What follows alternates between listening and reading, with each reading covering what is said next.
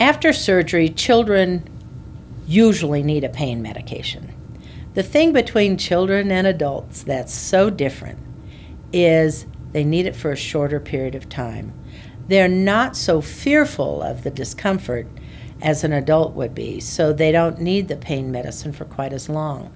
I find that most of the time we can switch kids from a narcotic pain medicine to simple ibuprofen and Tylenol within the first week from surgery. Sometimes at nighttime, when their brains don't have anything else to think about, they may still need the stronger pain medicine.